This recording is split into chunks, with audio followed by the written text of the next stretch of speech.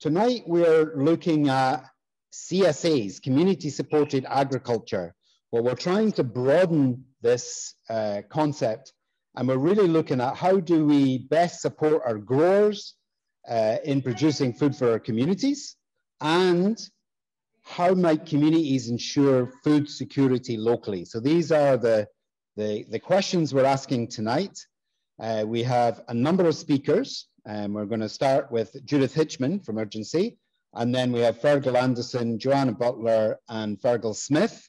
Uh, we're going to leave some space for reflections and getting into some conversations amongst ourselves. And then um, I'm going to do just a little bit on the Open Food Network, and Natalie is going to do a little bit more on Urgenci and um, training and, and education. Um, so you're all very welcome. I mean, we're really just starting to explore how we can bring solidarity um, to our communities and strengthen our local economies. And so the context that we're in uh, is quite important. We're in a pandemic, in a climate and ecological emergency. There's a huge need as we open up this decade, which will probably be the defining decade of our species, uh, to do some quite major shifts and rethinking. We need to shorten supply chains. We need to um, rebuild our communities. We need to restore ecosystems. There is so much work that needs to be done, and there's so uh, much that we can do through the lens of food. And um, so that's what our objective is today, is to explore uh, that today. And um, so my name is Davy Philip. I'm currently um, the coordinator of the CSA network, but I also coordinate the Open Food Hub in Cloughjordan Community Farm. Cloughjordan Community Farm is now got about 84 subscribers. Uh, we farm here part of the Eco Village, and um, we've been doing that for over 10 years now, and we love that model. We realize though that there's many different models of community supported agriculture.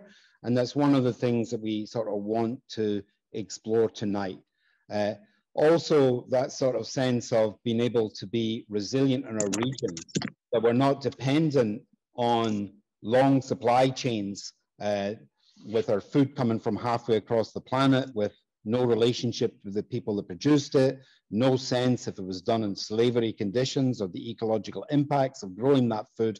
And so we're really looking at going local. How do we um, strengthen that local economy? Um, how do we build that local resilience?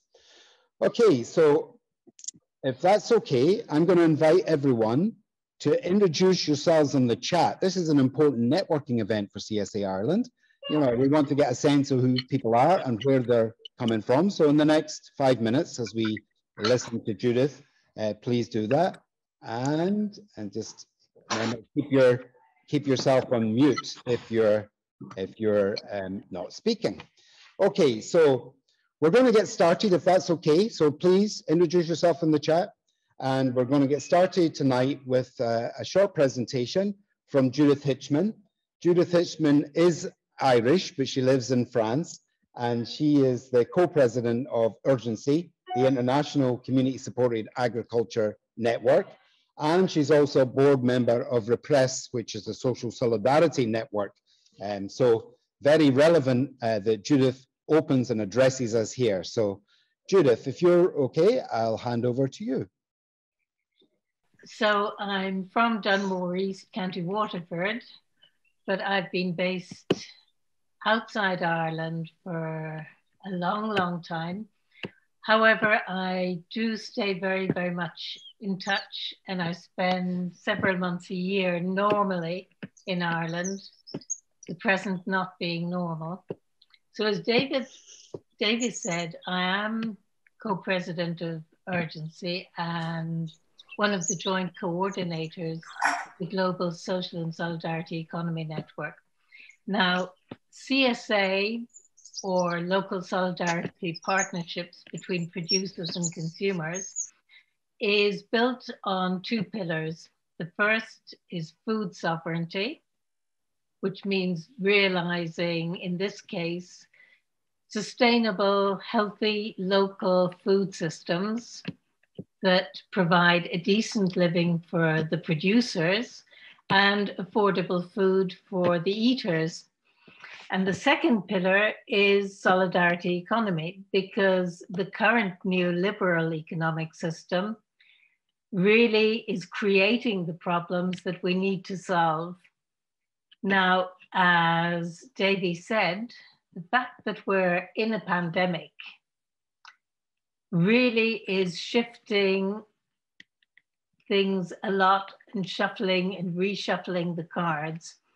And it's both a threat and an opportunity to us in terms of revisiting and rebuilding the kind of world we want or being ultimately and totally subjugated to a system that I think most of us are in our own way trying to fight against. Now, what has happened over the last year and a half, if I take it from the highest level, at the United Nations General Assembly level, the UN Secretary General signed an agreement with the World Economic Forum. Now, the key movers and shakers of the World Economic Forum include Bill Gates, include many of the companies that produce pesticides, GMs, and so on, and really represent the ultimate in the neoliberal economy. Now, from the UN General Assembly, all the UN agencies have signed similar agreements with the World Economic Forum.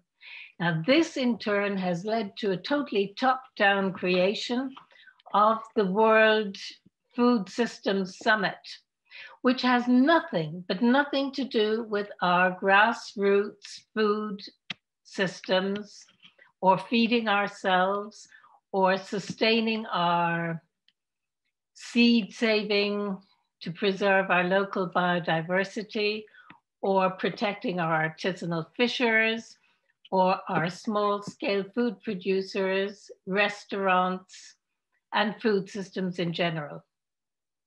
On the other hand, we have the social movements, starting with the Via Campesina, the indigenous peoples organizations, the pastoralists, the fishers, and Urgenci, who represent the consumers and producers together.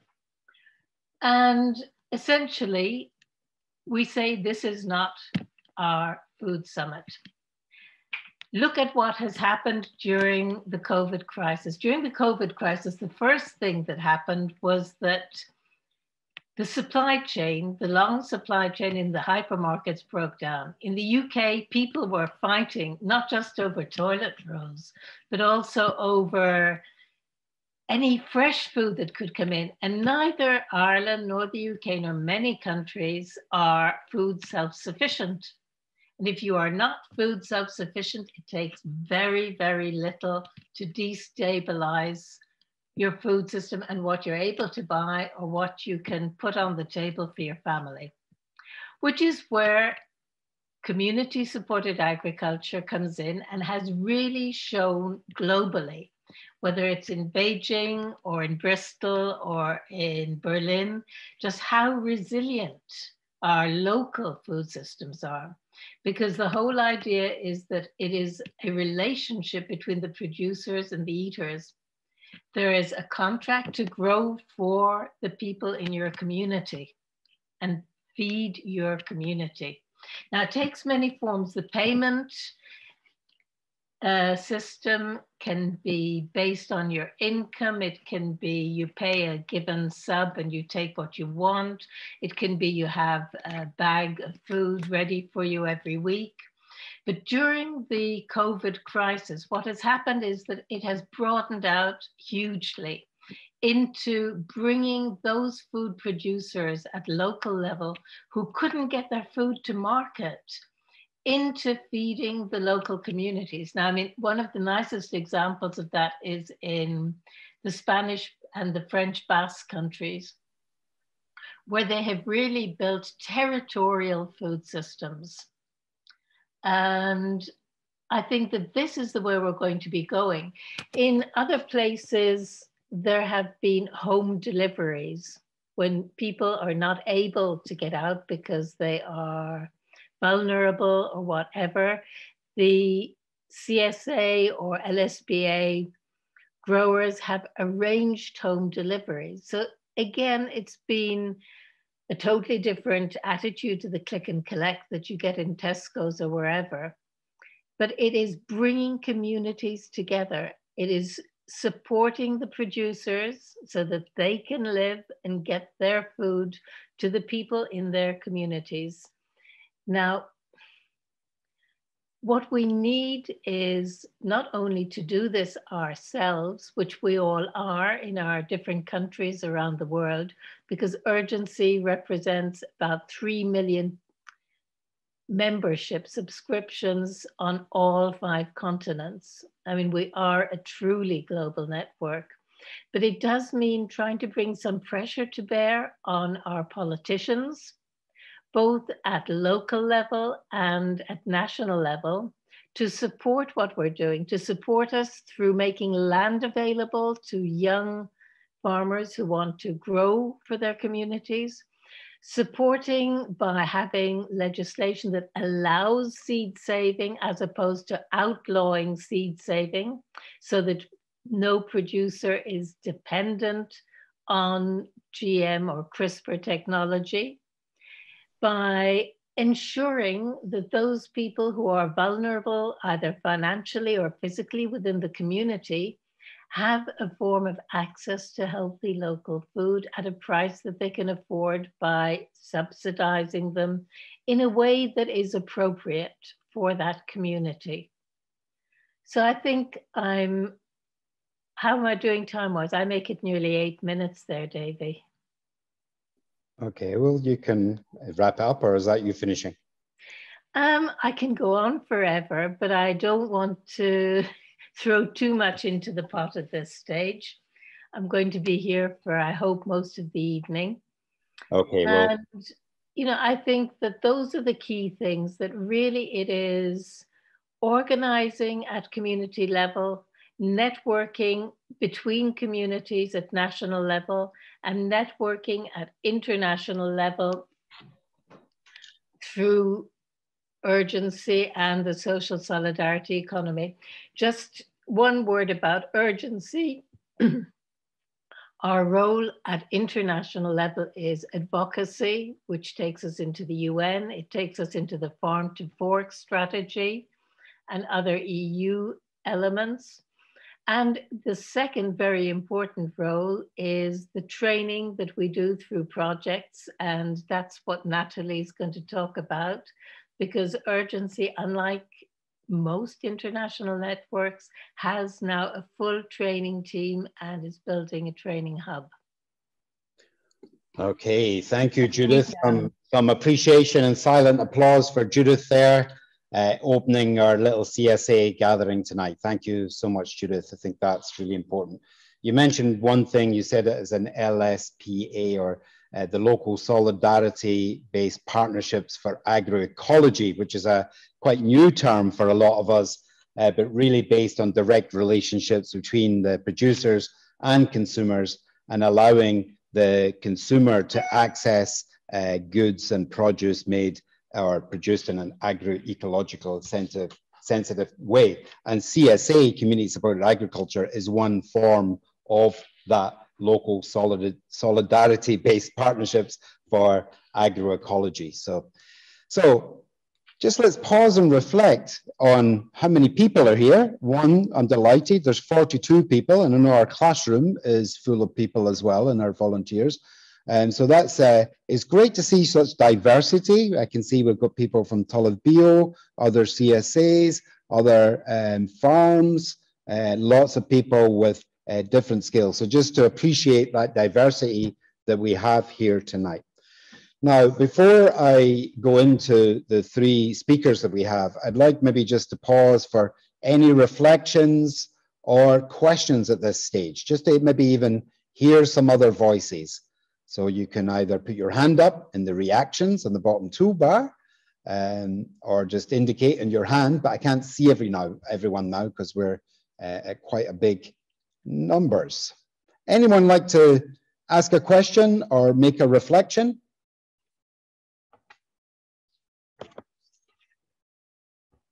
I can see our classroom downstairs. It looks a little dark there, but um, maybe turn the light on so we can see. Is that be good?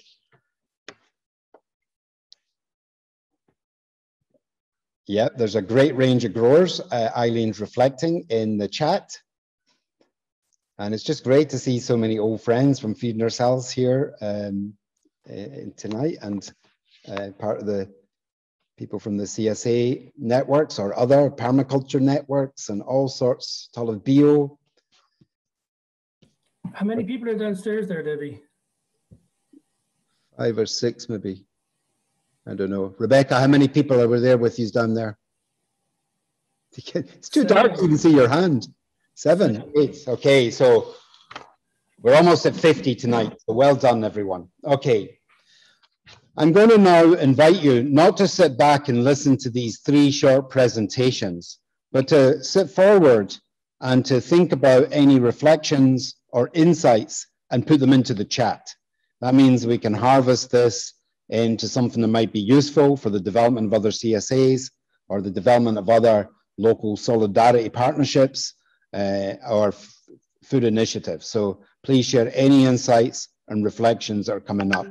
Many of you have a long background in this field, and there's a lot of um, complementary ideas that would be quite good to, to bring in. So please do um, bring in any questions, reflections, insights in the chat, and I'll create some space after our next three presentations. Is everyone okay? I think no Natalie wanted to, to interject something there, Davy. Thank you, Eileen. Natalie? Uh, thank you. But maybe I'll write it in the chat. I, I'm just interested, maybe if people want to share in the chat a bit from growers, like what solutions did you use during that lockdown time? You know, like how how did you cope with it? Uh, you know, how did you get your produce to to to the people? So it would be really interesting if you could share that maybe in the chat. Right. Uh, I'll, I'll just, uh, before I introduce the speakers, again, our two framing questions for tonight, which reflects a little what Natalie has said uh, but maybe with less COVID, but that's good. The two questions are how do we best uh, support our growers in producing food uh, for our communities, uh, for, for our citizens? And then how might communities ensure food security?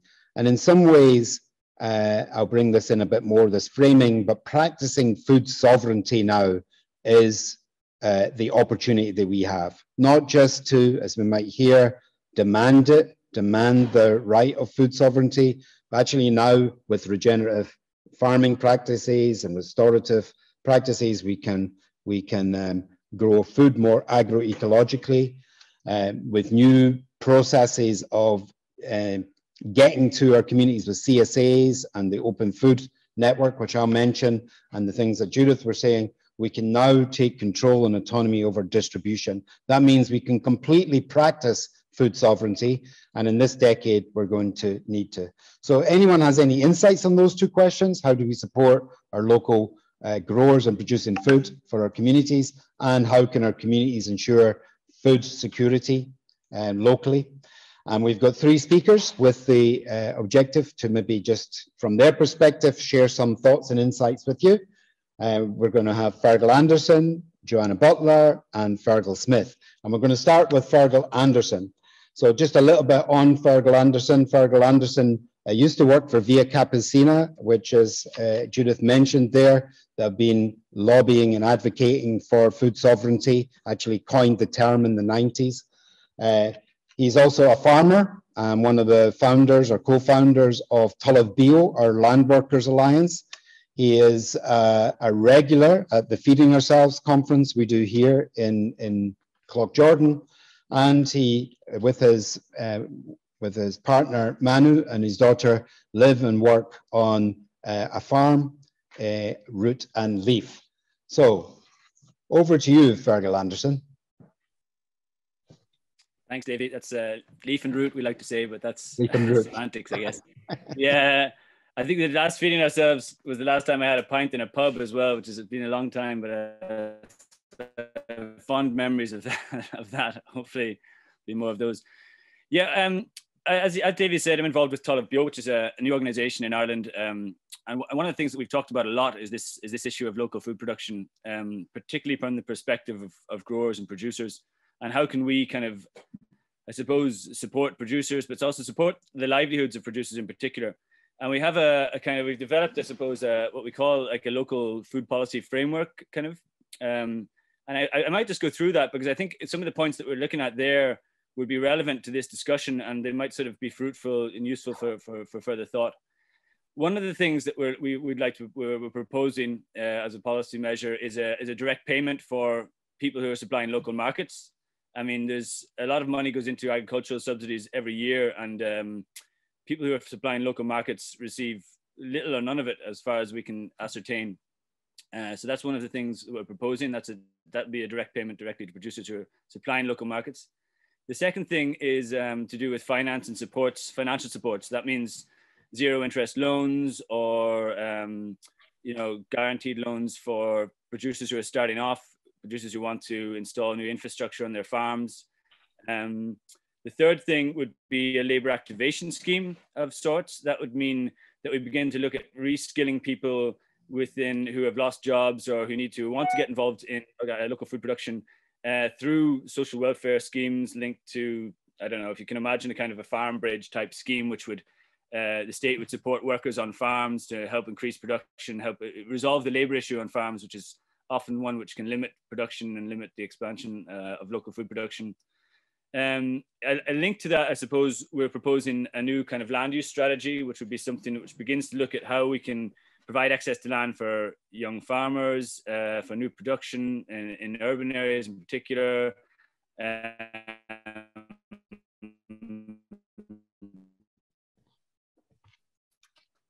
and also how we can restructure exist around agricultural land in Ireland, which make it kind of, uh, which inhibit, I suppose, uh, the establishment of new small scale producers. Um, is my connection okay? You can hear me okay, yeah?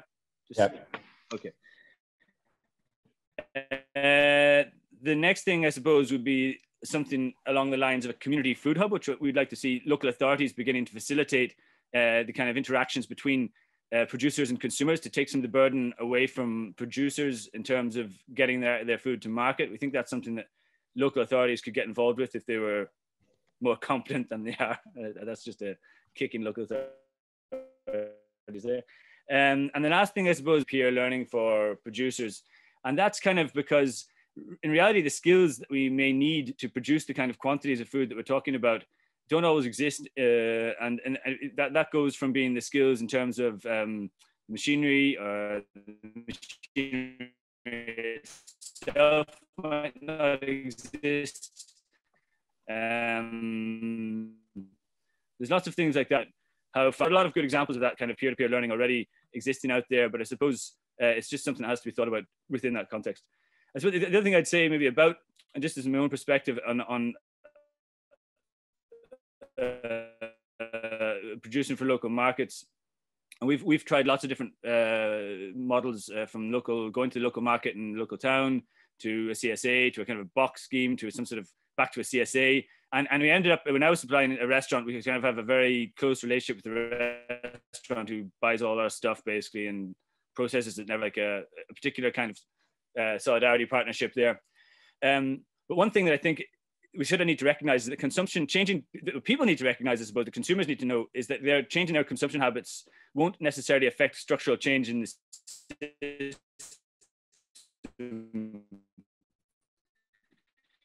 it won't necessarily uh, make a cultural but this is the kind of step that we, found was, was, was slightly lacking in, in our experience of the csa was that there had to be participation. And we think we need to create a kind of environment where people feel that participating in local food production is the same as participating in their local GAA club. It's the same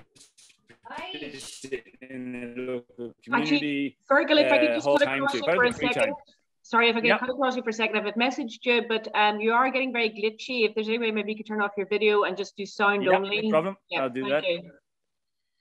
Um, probably won't speak for much longer anyway. But um, yeah, so um, and I mean, there's there's lots of different options, I suppose, for what what can be done. There's the CSA, which I think uh, which Judith explained clearly there, but there's probably also other um, things which have existed in Ireland that we can look at and say these could be pathways to kind of creating that CSA model. I mean, one thing that I've heard neighbours even here talk about was uh, this kind of a tillage field that farmers would share, that they'd always have one tillage field that would kind of rotate uh, and they'd grow kind of a main crop in that field and share out the kind of proceeds of that. Now, I mean, that's something that would require some sort of structure around it um, in terms of like people would buy a share of, of a kind of a main crop of something that they could store.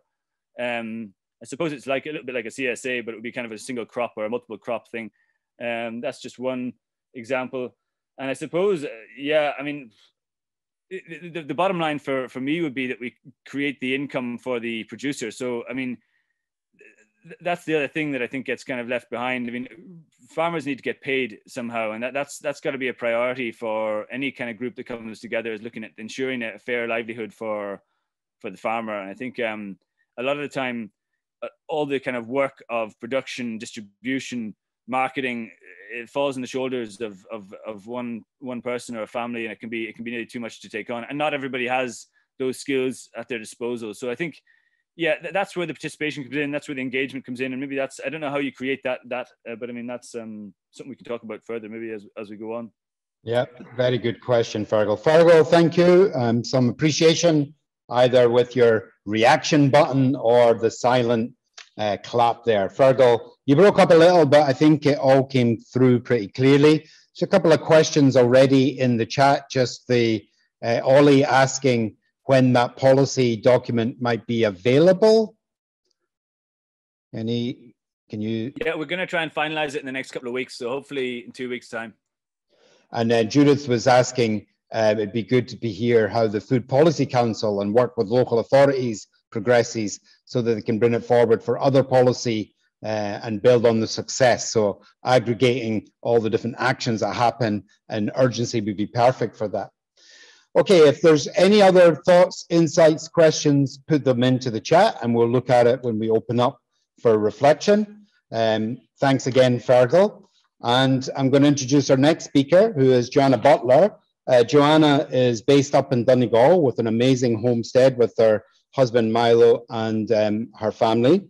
Um, she is a horticulture teacher, permaculture teacher. She teaches permaculture with, with us at Cultivate sometimes. She's a founder of the Community Gardens Network and more recently the Donegal Food Growers. And she's going to share some slides with us uh, as well. So, Joanna, are you ready? Thank you, David. Okay, so as David mentions there, we're based up in Northwest Donegal and uh, we, like in the scale of things, I suppose we're pretty small scale, um, but we do sell our local, our surplus to the local community and fingers crossed uh, when things return to some sort of normality that we start supplying a local restaurant. So we're passionate about food growing and educating and empowering people to grow food for themselves using these natural and sustainable practices. And I've been growing food since 2005 and then involved in my community gardens uh, and community garden projects since 2013. So uh, it's been quite a journey since, since we started. Um, I'm currently involved in seed saving projects with ISSA um, and also social farms and gardens in the north.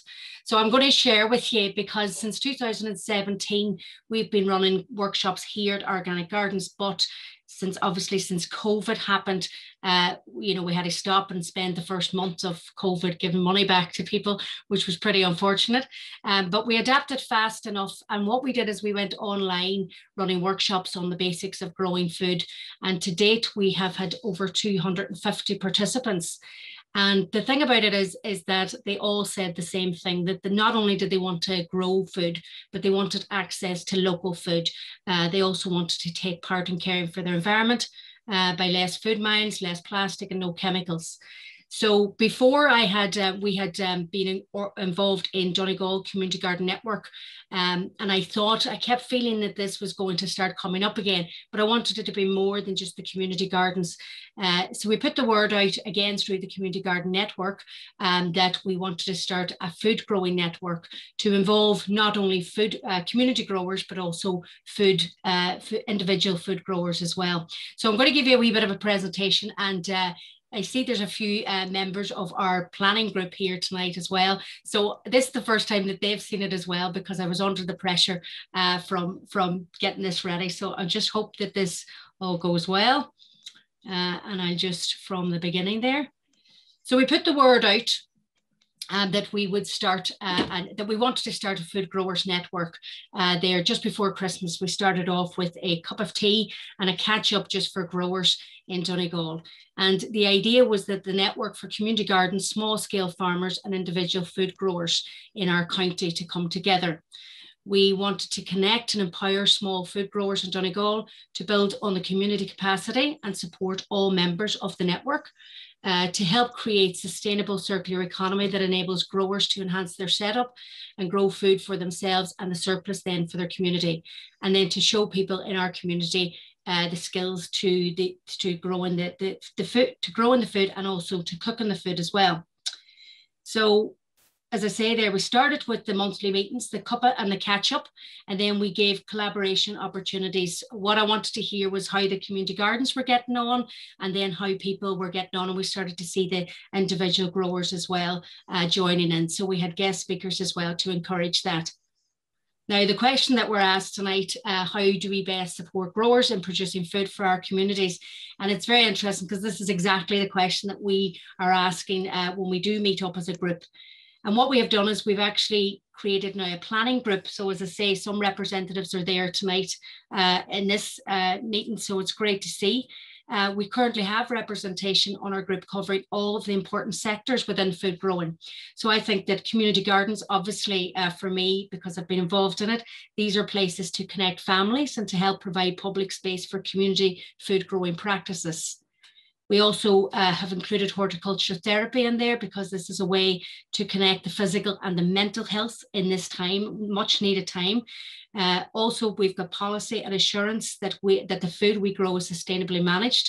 And then we want to create campaigns within the network that will add value to the and promote the network as well. So there's a lot of ideas at the minute that we've got.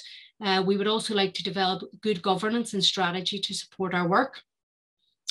And we also want to get an audit, audit of what's growing in Donegal. So we want to do a stock take as such as into who's growing what uh, and, and what do we need to produce in the county. We also want to look at varieties that suit local areas, uh, maybe to uh, suit location or soil uh, or whatever. We want to also look at best places maybe to grow, for instance, apples. We noticed that there was a huge uh, lack of apples uh, that you can get in the shop. And also when we look at the amount of imports, can we look at, at, at alternative crops to grow that are perhaps more resilient now with the weather? Uh, so we want to draw the attention um, to localize more perishables as well, while being transparent and trusting uh, relationships um, with international food producers for our food, because you know for other food that we can't grow. Some of our members have come back and they've said that, for instance, that they want to see things like a tool library in the county, and this was uh, where we could share um, we could share our tools, for instance. Uh, I heard knowledge sharing as well. That would be quite important. Uh, but we're, we're just currently working on our vision for the network to be able to have a clear roadmap of where we're going. Uh, this is one of these new tools that we can use, uh, the, the, the food map or what the word map or whatever. Um, the second question then we were asked tonight was how might communities ensure food locally? And again, we're looking at that as well. We're a big fan of the ripple effect. Uh, we want to empower small growers to access sustainable materials and infrastructure. We want to enable communication and knowledge exchange, enable regenerative growing, uh, enable adaptation for climate change as well, and then for our neighbours to follow suit. So this is not a competition. We want everybody doing it in every small village uh, of the county and obviously nationally as well. Food security is strongest when uh, food is produced and distributed locally. So building a local community that builds local economy. And we also want to be helping our communities making decisions to design their own local sustainable food networks that prioritize, tr uh, prioritize trust and nutrition so I heard mention there the hubs as well. So in Donegal, we would love to have, this is our blue sky thinking, uh, for to have four hubs in the county. Uh, Donegal's a big county, so uh, north, south, east, and west. Each hub would have the capacity to allow members to visit their growing areas and to see what's happening. Um, they would also have the capacity for a community cafe or a shop uh, or a focal point to gather in the community. So we're currently linking in with the Open Food Network to explore ways to do this digitally also. And the hub would have a clean kitchen, ideally, uh, on site that would, would, also enable growers and producers to make jams, chutneys, or uh, fermented food for sale in the cafe or the shop. And then each uh, food growing hub would have on site activities like community gardens, uh, seed saving, other environmental activities that can be in turn funded by the sales of the shop or the cafe. And this would create a, a self sustaining entity over time.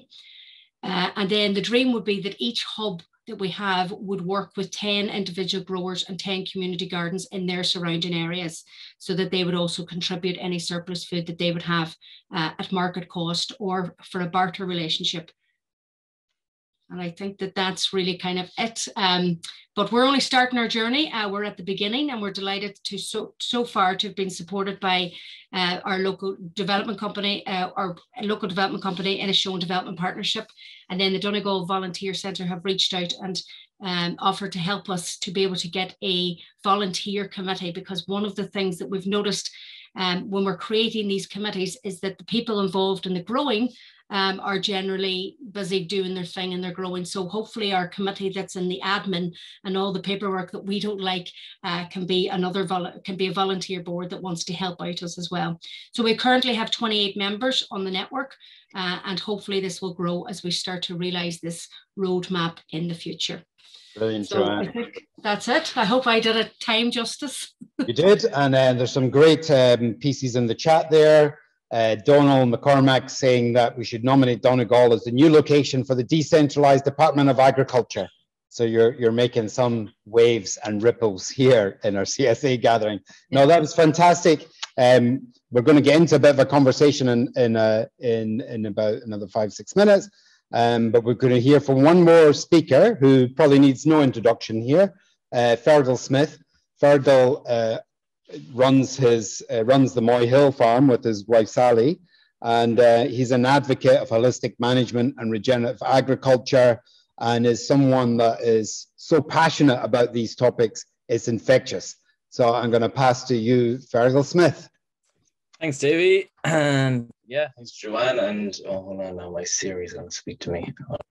And yeah, and Fergal. Um, yeah, I yeah, it's a big, you know, there are big questions and big topics that we can all obviously talk uh, a long time about. Um, Fergal is like me and Fergal work on Talamh Beo together, and I suppose to talk about the solutions, yeah, that's what Talamh Beo is about, and that local food strategy policy that we're working on is kind of, you know, we're at this weeks and weeks now. Skype call once a week, up late with you know eight it, you know, up to their knees in it farmers. So we're really picking through the the details of Irish agriculture and all of it, the legal system, the grants, you know, land use, how do we get training? You know, there's so many elements that I could talk about, but this has taken, you know, weeks and weeks, and we're still we're going to have to spend quite a few more Zoom calls as a team with people who have experience in all different elements of agriculture. So it's a big one, and we're you know we're going to be working on that, and it won't be maybe there'll be better ideas than what we come up with, but it's it'll, it'll take a lot of robust teasing out, I think, to get into these solutions. And I think a lot of it comes down to we're working in an old paradigm of the industrial model, the legal system, you know the great new solutions are perfect but most people shop through an industrial model. So we can't just chuck that away. We have to work with it. And how we get through that is it's a bit kind of clunky and messy probably for the next few years but there's no doubt it's going that way. There's no doubt everyone wants to go that way. Um i suppose my thing i was going to bring in was just a little bit of a perspective of what it's like um, from doing the CSA and we've tried them all, like, and so has Fergal as well. But um, we also so we done CSA in originally. I love the philosophy. I love the yeah, the whole ethos, I was completely sold on it. And that's how we started. And it's a really nice way to build up um, great, you know, a great kind of relationship in your community of your consumers that are around you. And yeah, they're still buying us off us today. So it is a lovely thing, but you're only, I think, for quite some time, you're only ever going to appeal to a certain person in the community with the CSA, just because you got to be a little bit, you know, outside the box thinking to commit to your food for the year. So we used to sell our surplus at the markets, which are great, but markets are only great if it's a good market. Um, so you need good markets, and that's that bit in the policy where we want the councils to really push markets in each town. Um, and then there's restaurants, which is great for the surplus in the middle of summer.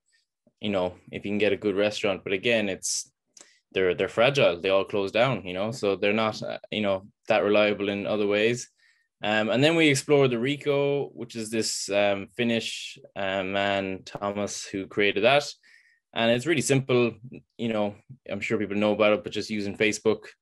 And people don't even call it REKO. Like loads of people are doing similar REKO things through Facebook. And it's very simple because there's no making of a website. Everyone knows how it works. Facebook is very simple to use and we've done that. It's it's good technically, but again, it goes back to the farmer having to do admin. The farmer has sit down at a computer. Um, you know, it's all a bit kind of. It's only going to appeal to certain people again because it's not as casual or convenient. So the best one that we now kind of mainly are doing is our farm shop, which works for everyone. It works for someone who likes CSA. It also works for your next door neighbor. It works for a tourist in town. Like anyone can go by our shop. You know, it's open for three or four days a week. But that obviously only works for certain farms. You know, certain certain farms that work for uh, most farms it doesn't. So I would say the farm shop is the simplest, no admin, very easy to man. And then a good market, I don't think you'll ever beat, you know, markets have been around for hundreds of years. Um, so yeah, I'm just talking about my experience in all of it. CSA is lovely. It's really, really good. And I think the movement will gather as people get more conscious of it. Trying to answer some of the questions, I just wanted to bring in just my perspective because I think Fergal has talked uh, kind of what I would say are the solutions to deal with these big questions in Beo. And Joanne on the ground stuff, that I love that. That reminds me of uh, my community garden days and having little events because it's that is the grassroots stuff and it's where you meet people and you have a cup of tea but we need loads of that. So I suppose me and Fergal are kind of looking at how do we transition the big stuff like where you know the aging population of the country of farmers how do they transfer that land into new up and coming people but these people can't they're not going to a farmer isn't going to hand over 100 acres to a nice bright-eyed bushy-tailed you know regenerative farmer has who has no experience they're just not going to do it so we need to have the right training for these young people. We need to have good legal agreements to hand over land. Like it's a big deal in this country handing land over to someone who doesn't, you know, have family farming backgrounds or whatever. So it's these are really big topics that we have to get right if we wanted to change in the next few years in the right direction. And yeah, that's why me and Fergal are spending many an evening on Talamh Beo calls because we think having an organization that's going to go to governments, but also farmers can come to this organization and see that we've done the work and we also understand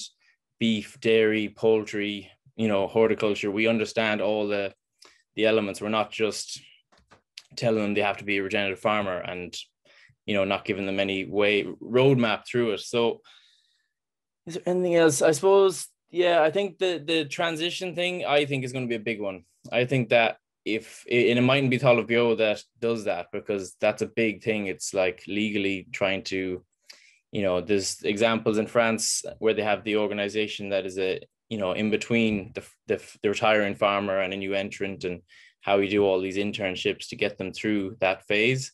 I think that's going to be a big part of um, it. I think that Joanne said at the end there, and I would totally say about how communities can support uh, food sovereignty, it's community led um, initiatives are going to be way stronger than farmer led because the farmers are knackered, they're working every hour of the day. And most of them want to be farmers. They don't want to be market marketing people, delivery people, whatever. So if communities come together and show they want a CSA or they want a REKO or they want a local farm shop, the farmer will be delighted. You know, the farmer needs to feel it's going in the right way. They're not going to pour loads of energy into CSA and then, you know, it doesn't work. But if the community are saying we want it, we have 100 members, so the farmer's like, great, you know, I'll I'll supply into that, have a more secure model. So I think, yeah, I also think the community, the you know, the population now is a little bit further ahead when they were when we started the CSA, obviously because of you know the last year. So I think the consumers are actually probably a little bit more primed for starting community-led initiatives. So it's a good time to be putting out all these um yeah direct selling models into the community and people can come together and you know ask a local farmer and I think farmers would be delighted if they saw the the need for it. But it's it's hard for a farmer to get off his treadmill and create a whole new direct selling system when they're busy enough as it is. So perfect. That's about me. Uh, Fergal, thank you so much. Uh, Fergal, um, Joanna, and Fergal, that was a, a, great kickoff to our conversation. So there's a lot there. Uh, there's there's quite an active chat now uh, going through different questions. And I'd like to open up and hear some other voices. Uh, um, Eileen, you're going to come in, but let me just let, frame something. So as we started at the start, we're moving into a decade of disruption where our behavior and worldviews are going to change quite radically in this decade. And I feel that this is a silver lining for the work that we've all been doing, that we are going to have people more aware of short supply chains and locally produced and supporting our local economy through supporting our local producers. So there's always a silver lining here, but we need to be ready for this. And I agree with what Fergal ended with there that farmers are tired and probably not got the skill sets to set up these distribution and these networks.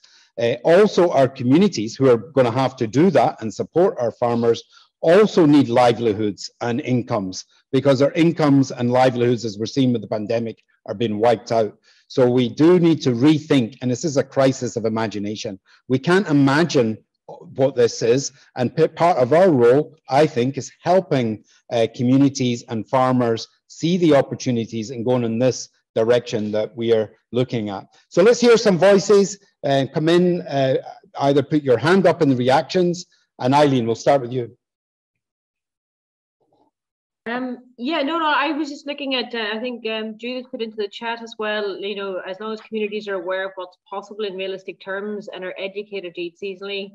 And just as a re response to that, I think education around good eating is key and seasonal eating. And I was just wondering, like, I know that an awful lot of community organizations do make those little connections with schools in terms of permaculture gardens and so on, but I'm thinking more and more about curricula, you know, the, the school curricula actually being centered around I mean, even in our local schools, uh, right beside an eco village, there isn't enough on climate action or food or sustainability or education around seasonal eating. And I think that's that's one of the things that I've been thinking about. Mm-hmm. Uh, but I want to, you know, I want to keep this obviously a wee bit more into the the subject line that you're talking about. Now. Well, I think that's a that's a big part of the subject. Yeah. You are going to have to educate not just the kids but everyone on a different thing uh, the the sort of way that we approached it in feeding ourselves is that we're not going to have a choice in what's coming unless we feed ourselves and have those systems to support our local farmers and to distribute food locally. We're going to be scrambling, and people have no sense of that. Like we had no sense of a pandemic until it hit. So yes, education, but it's not just for kids now; it's everyone. Brilliant. Where's the big line of people want to come in with comments and reflections and insights? Kerry Meehan is looking to speak, Davy. Can people put their hands up? It's very simple. In the yeah, Kerry, Kerry had her hand up there. Oh, I can't see that for some reason. Sorry, Kerry. And you That's come. okay. Can I can I just say one of our most successful enterprises has been. Can you hear me? Okay. Perfect, Kerry. Yeah. Yes one of our most successful things in Ardswold Garden in the community project has been the school gardening and bringing children in two or three times during the season. And then they come in September and they we make a big feast and we cook all the food and we eat it in the garden. Mm-hmm. And that has done more to change children's attitudes to what is edible. And children are eating all kinds of stuff that they wouldn't normally eat at home. And uh, because so many families feel that this is all very well, but children don't like vegetables, which is absolutely mm-hmm. crazy, you know. But it's lovely to, but children do like vegetables. They just need to come and eat them in the garden. Yeah. And it's lovely when you do that in community and you're building social capital, you're building relationships and knowledge of each other, of the place, as well as learning new skills. Christian Volkman from Patagonia, you want to come in? Let me find the unmute here. Eh? Sorry. Hello, everybody. I um, excuse the noise in the background. It's just bedtime. Um, the um, reason why I'm on this call is I'm, I'm a pure consumer. I I've got a I've got a tiny bit of, of um, land outside, which is like two square meters, and I'm trying to grow beans on it for my for my three-year-old at the moment.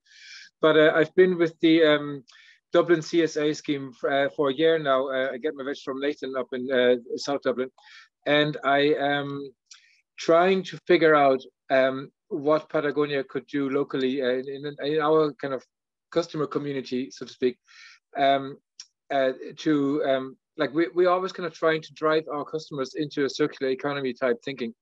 And uh, the, the, CSA uh, idea is, is a given for that. Like it's an absolute no brainer to go for. Like, but uh, my problem is um, I can probably, like, as Fergus Smith was saying, we can I can probably um, get a community of interested people together through through our customers. Um, but I don't have a farmer to go to like Nathan is already kind of operating capacity and so on like so. So I, I'm missing a link here of interested farmers um, to kind of bring into the into a conversation with my community. You know, so if anybody knows anybody or has any ideas how to find those, that'd be great. Thanks. Yeah, you can put your hand down there, Christian. Thanks for coming in and thanks for everything that Patagonia's do to support the regenerative agenda. It's fantastic. Uh, I do think we probably need a dating uh, app for farmers and communities. That might be quite good.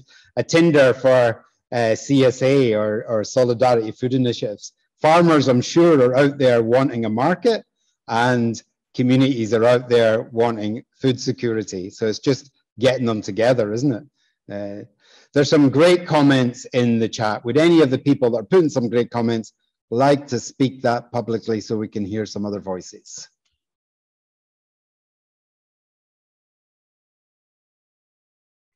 Brendan and Donald, you're you're you're having great. Uh, you're you've got loads of great thoughts in there. Do you want to speak them or give us a little insight? Yeah, sure. Uh, apologies now. You might hear my daughter here. She's having her her evening meal before she was bed, so you hear a baby and know what that is. Uh, no, I was just talking to one of the things that has been an issue that I look. I'm only starting out in this myself, but a lot of the price points of organic and local food is it was beyond it was beyond my income point up until very recently. It was never so like I'm, I'm from a family that you know needed to buy those 49 cent carrots growing up, like and to go beyond that need to actually change the food system. That's what has to be addressed. And I see Fergal actually had some good stuff in about like you know kind of social food questions like that. But just if anyone else anything else on how do you actually go beyond that, or is the case that some CSA providers are just happy that to serve the niche that's already that's already willing to pay that little bit extra for quality food? Yeah, thanks, Brendan. It's the high cost of low price. It's been a, a difficult issue, I think, for good food.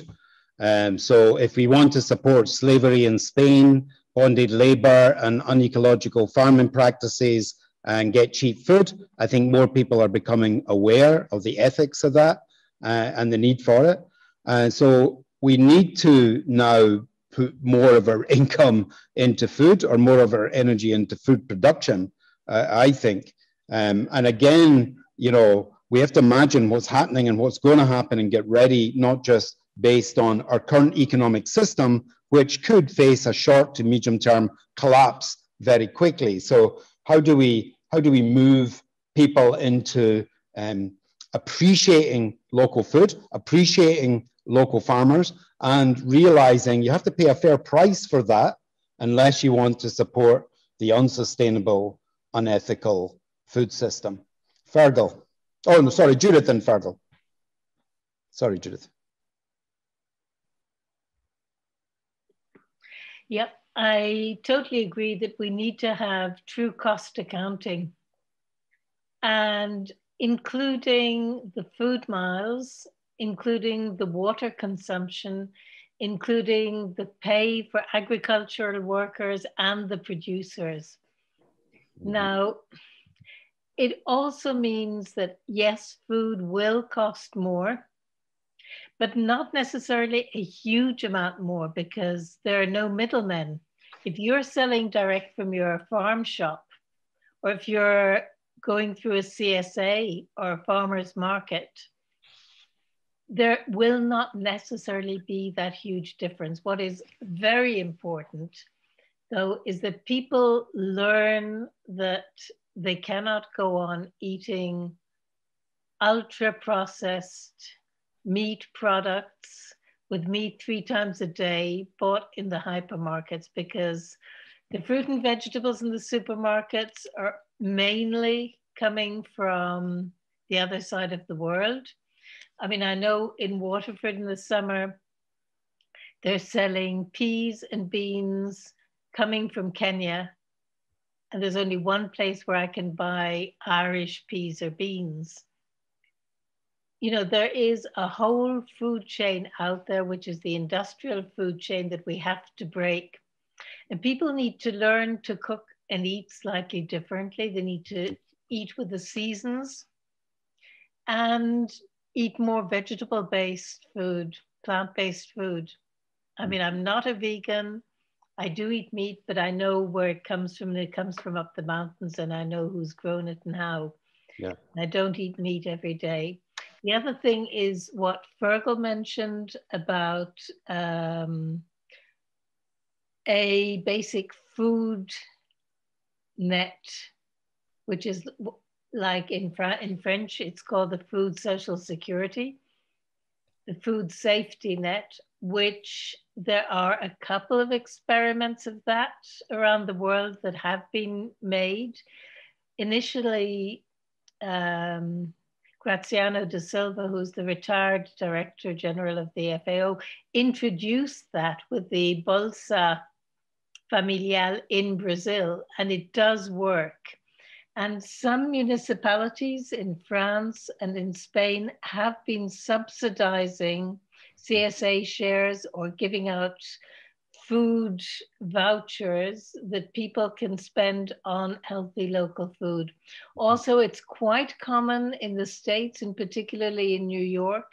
And it has been one of the few ways that low income groups have been supported to access healthy food, which is particularly important mm-hmm. in a mm-hmm. pandemic. Mm-hmm. So those are just the few points I wanted. Right, to- I think that's really important. You started off with a true cost accounting. We need to. Yeah. Connor is mentioning in the chat there better measurement of GDP. So we just measure the wrong things and stop subsidizing the wrong things. Yeah. Fergal, you want to come in? Yeah, that's just what I was going to say. I mean, I think food is also cheap because uh, we have a system which subsidizes a production model. So, like in Ireland, that means 1.7 billion euros every year is transferred into farmers' pockets from uh, the public. Now, imagine what we could do with even just a fraction of that money if it was going into local production. I mean, so that's part of the reason that we're trying to focus with Beo on this on the policy framework because we're saying, look, we've been ignored in that entire system since the beginning. The idea has always been commodity production for export. So um, we can't ignore that, I think, as citizens either, if we want to change the food system. I mean, ultimately, that is a huge amount of money that is going into, uh, and it's not just about the kind of production that it is, it's about where, where that production is destined for, and it's destined for going outside the country. So we're essentially supporting an export, uh, and an industrialized export model with, with money. So when we talk about, and it's an incredibly complicated system uh, that we're not going to go into in detail now, but like one of the, when I talked about direct payment for local producers, I was talking about saying let's put money in the pockets of local producers. Let's put ten thousand euros into local producers' pockets, and all of a sudden, food might not be quite as expensive in your local economy uh, as, as as it was before, and livelihoods for local farmers might be a bit better. So I mean, yeah, I think those are things that we need to just be bold about at this stage. It's a time for bold ideas. It's a time to say, look, you've been giving money to that guy over there to produce beef to export to Turkey for the last 20 years. Now give me some money to grow to grow vegetables for for my town, and uh, you know and keep keep another kind of uh, economic model going for another 15 or 20 years. And I, I, suppose those are the kind of conversations we want to get kick off a little bit with Talamh Beo as well. Yeah, there's some good indicators that we are thinking now quite seriously about moving beyond growth, moving beyond these subsidies. You know, the regenerative economics model of Kate Raworth really helps us see that we need to keep within the carrying capacity, but also build that social foundation that um, makes sure that we're all uh, can thrive. Ollie, do you want to come in at all with your piece there on on CAP? And, and Fergal, if you put your hand down so I can keep the yeah, this will probably be in your um, policy doc anyway, but just the idea that labor rather than land being the one of the things that subsidies pay for. Could you? We have like twelve people on our on three hectares at the moment. Um, we're producing three hectares isn't even a beef farm or a dairy farm. It's no use to beef or dairy. So like, if you think about yeah, it's paying by land area, sorry, by by labor unit and then by other public goods um, and in a hybrid system with lands, you know, that would be, that would revolutionize the opportunities for agroecology. But I think as well, the environmental pillar and Talamh Beo are both going to come out with policy docs nearly at the same time. Um, so I think there's a lot of opportunity in feeding ourselves as well then in June or whenever we do it to actually really spotlight these policy docs and look for ways to bring the two together and to almost have a parallel process to you know, ag climatized 2030 or whatever the next version of, you know, food harvest and foodwise is. Because, you know, the pillar walked out of that process. Um, and, you know, we need to basically run a parallel process, I think, at this stage and work for synergies between environmental and, and good farming organizations. So maybe Ollie and Fergal and Fergal and Beo that are here could maybe ensure that because the IEN's uh, policy doc is probably going to be just looking at the things that need to be done from the European or top down, where it sounds like Fergal Talamh Beo's could be a lot more. Here's bottom up enablers that can ensure uh, this. Uh, there's some good uh, comments here. I don't know if um, if anyone wants to come in to speak these. I mean, land access, of course, came up quite a few times. And in the chat, I saw there about the model of CLTs, community land trusts, which are generally for uh, housing and ensuring affordable housing. Uh, but there's a regenerative land trust uh, pilot program looking at doing that for land. Uh, I think we need other models for securing land. Uh, yeah, model Davy. There you go, Jim. You're in now. All yours. Yeah, um, I've just come from the education background mainly, but over 25 years, I've watched young people study horticulture and culture and disappear into the electronic economy or somewhere else, mm. primarily because they would there was no support for them. They didn't have land, and there weren't the springboard opportunities. Now there are some of those are happening, but uh, mm-hmm. model leases are absolutely essential. They need to be put in place. We can learn from partnerships that didn't work and the ones that did work over the years. Uh, so they'd be a top priority. But also, uh, uh, Fergal mentioned about the, the 1.7 billion going into CAP. That's, that's the biggest scandal of our time because not alone is it not directed to people who are doing local food, but it's also going on high emissions farming and the biggest, the most unprogressive spending of EU money that there is big political argument to be made there. I hope it happens over the summer and is ongoing. And just finally, Davy, I think the, the gathering tonight is very informative. Um, I want to congratulate everybody on that. But I think we should go back to the original view, which was in the founding of um, the organic movement, which was that food was a medicine. And if we can subsidize food for, um, if we can subsidize medicine for people who are on social welfare, mm. then if food itself is the real medicine, particularly at a time of a pandemic and immunity challenges, then I think we need to make the argument at councillor level.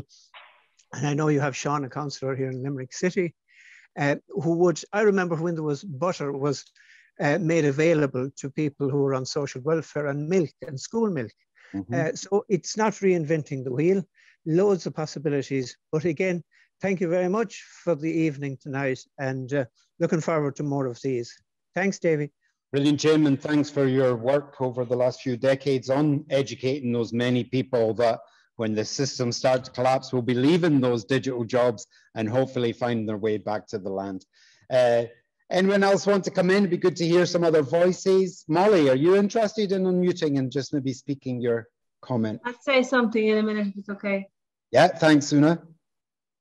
Um, no, I was just going to say I'm kind, I'm kind of here listening. I've been trying to set up a CSA now for several years. I attempted it from a consumer perspective in Sweden a couple of years ago and ran up against the knowledge. It was where people didn't know what was seasonal and what could even be grown in Sweden for a local market, both from the farmer perspective and from the um, consumer perspective, where literally someone stood, stood sat in front of me and said, "But what would a family of four do with a kilo of potatoes a week?"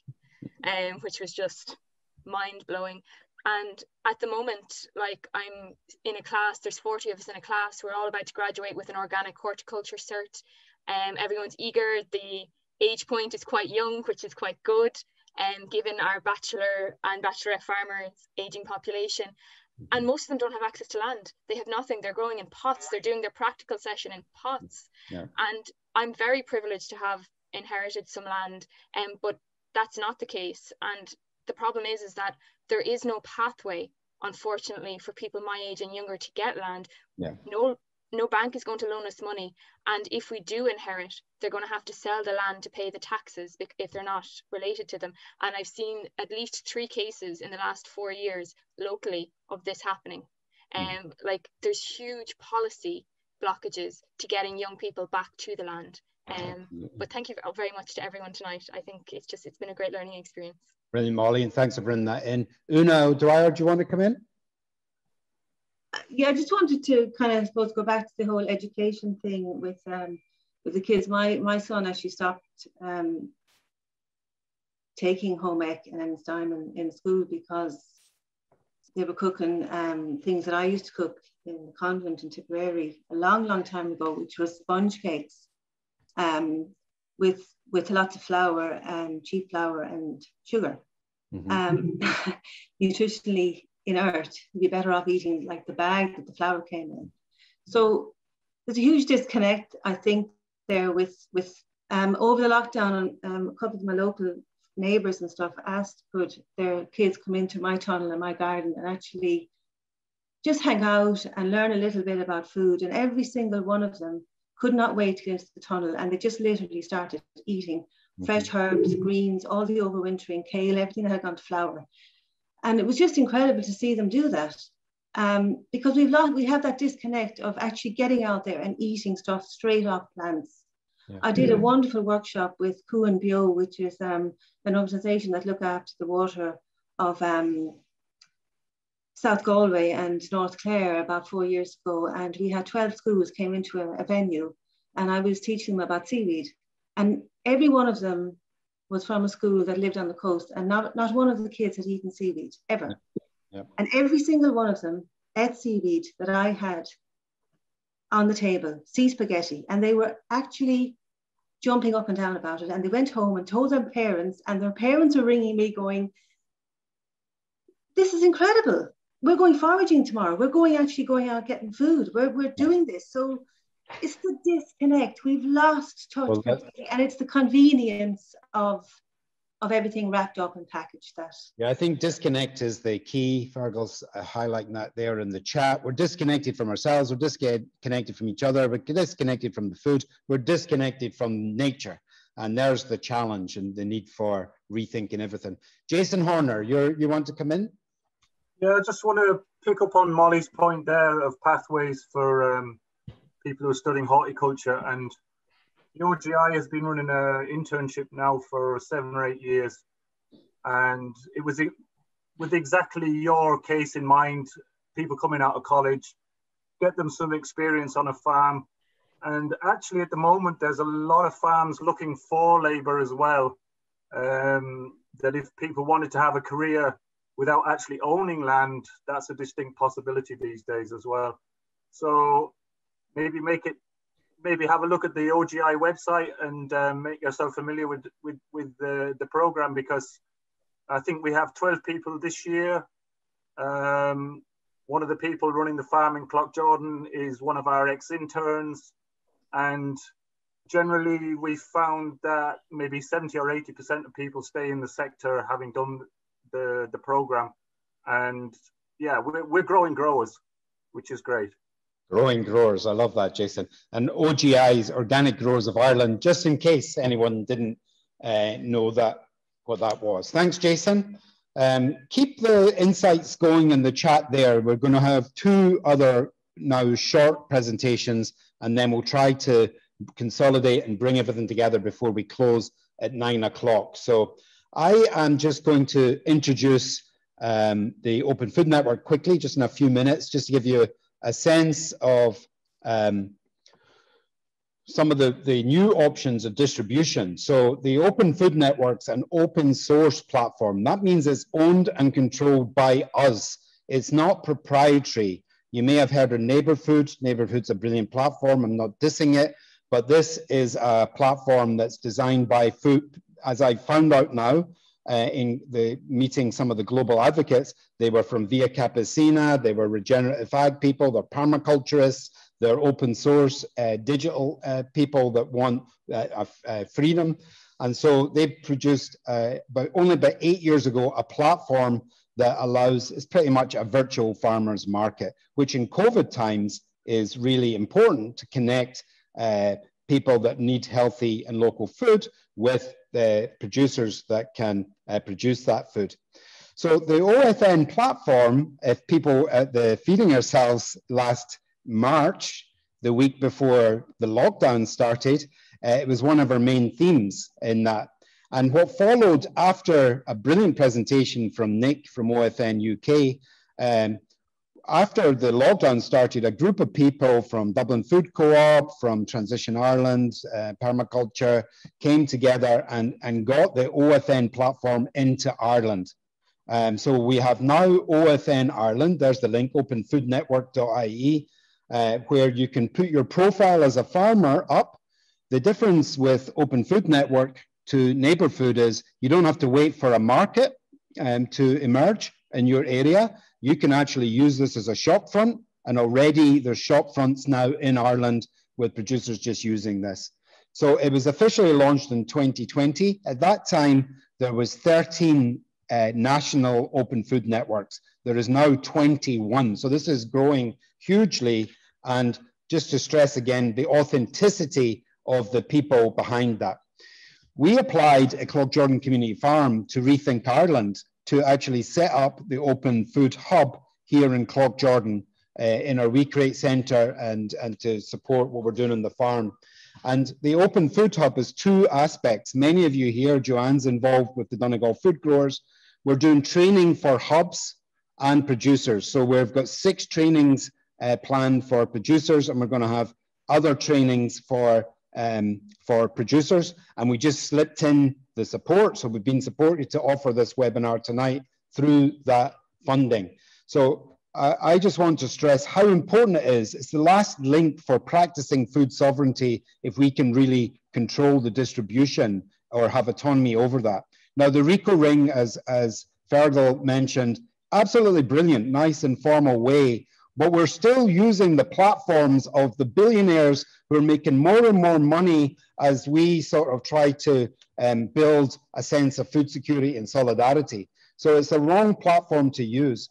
This isn't uh, too complicated either. I think, um, again, it's been stressed that farmers may not have the digital knowledge or the, the abilities here, but through support with communities or as another diversification for people in the community that want to, to do something, this is perfect.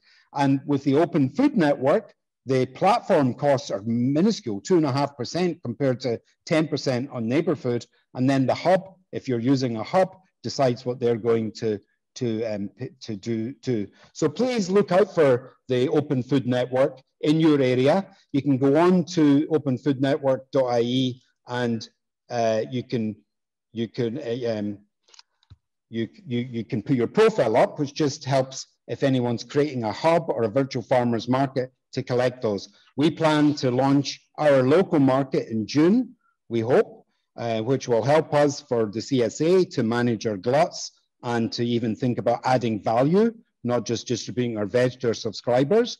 And obviously here in Cloughjordan, we have a number of solidarity food initiatives, a bread club, an egg club, a mushroom club, a whole food buyers club.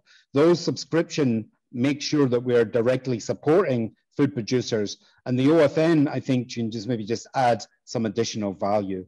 So I just wanted to make uh, that little presentation and pitch uh, for the OFN.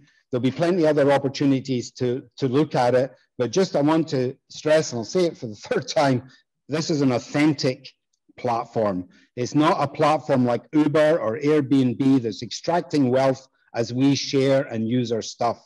This is a platform done by people that are advocating for food sovereignty and food security and community resilience and are the real deal. So I just wanted to, to bring that in. Any reflections on that before we move in to our presentation from, um, for, for, from Natalie? I'll just leave it open if there's quick questions on that.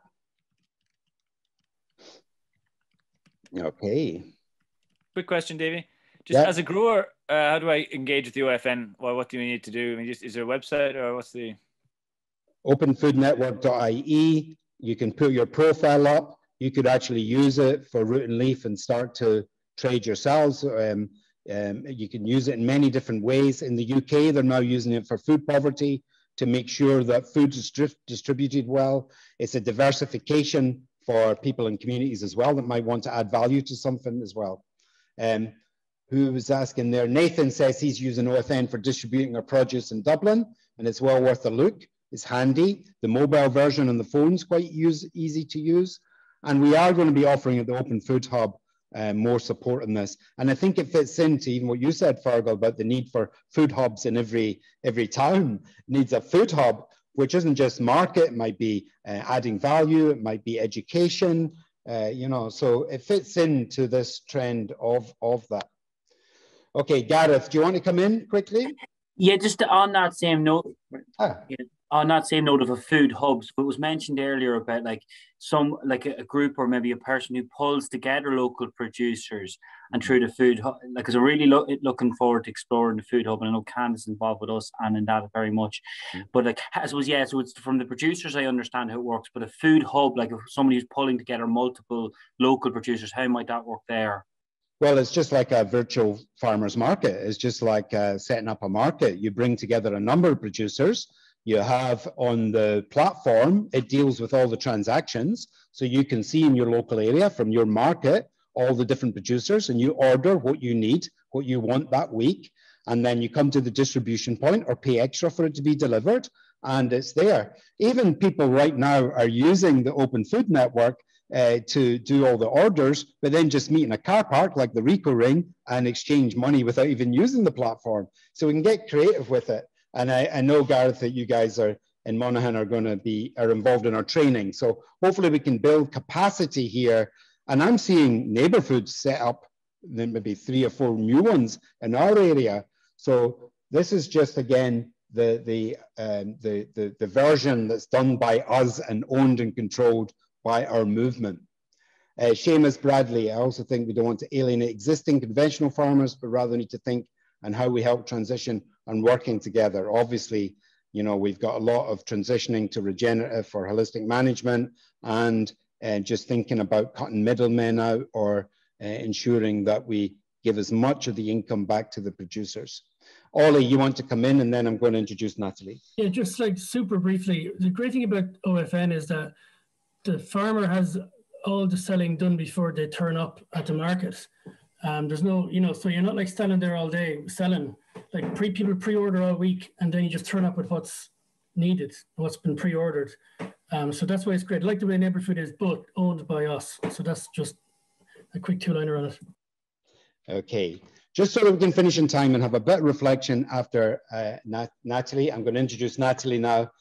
So again, if there's any questions, insights, get them into the chat. If there's anything for either Natalie or anything you've heard tonight, we can process this and harvest it into something that will be useful for us all, for the networks. Um, So Natalie is going again from Urgenci. Natalie is uh, Natalie Markivka is the training coordinator at Urgenci. Uh, she's also a steering group member of the Dublin CSA, and she was the co-founder of Foodture, uh, which many of you know. So Natalie, over to you. Yes, hi, thank you very much. Um, um, first I want to say uh, it's really great to be here tonight and um, yeah, just to be part of this very rich conversation we're having here. So, so I want to tell you a little bit more about what I'm doing at Urgenci. So as you heard of already from Judith, education is, is really a big part of, of what we do.